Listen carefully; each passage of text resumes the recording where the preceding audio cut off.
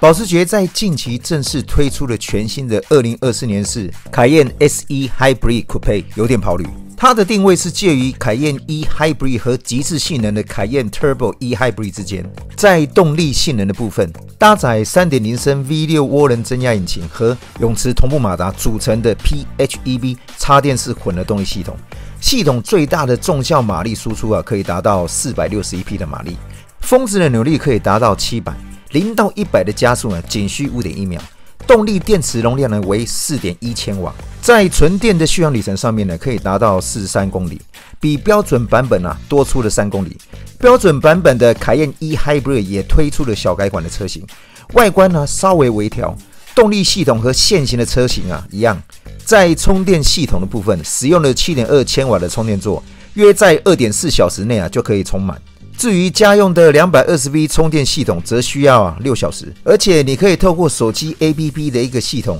可及时的查看充电的一个状况。而且此次凯宴 SE Hybrid Coupe 的配备啊，也是十分的丰富，包括标准配置的保时捷动态底盘控制的一个系统 PDCC 电动侧倾稳定系统，保时捷扭力分导升级系统，陶瓷复合刹车系统，以及主动气压悬吊系统。在外观套件的部分。标准的二十一寸轻量化铝圈和全车同色的空力套件。当然，如果你想要提升这个外观的吸睛程度啊，还可以选择二十二寸的铝圈和后轮主动的转向系统。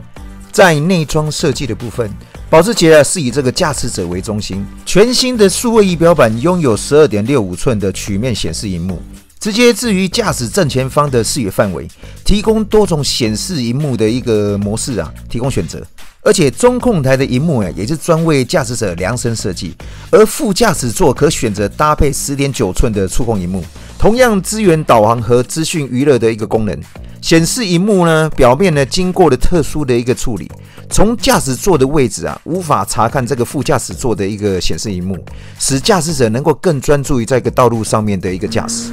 在台湾市场的部分，二零二四年式的车型，由于全球供应链啊尚未趋于稳定。特定的车款的部分的一个零组件跟它的一个供应啊，恐怕暂时啊受到受限。所以呢，后续如果有进一步的一个消息啊，格维在后续的影片跟各位做一个分享。爱车的朋友记得订阅格的频道，兄弟们小小的一个订阅与按赞的一个动作啊，对格来说就是一个非常大的一个前进动力。希望今天的分享你会喜欢。See you next time.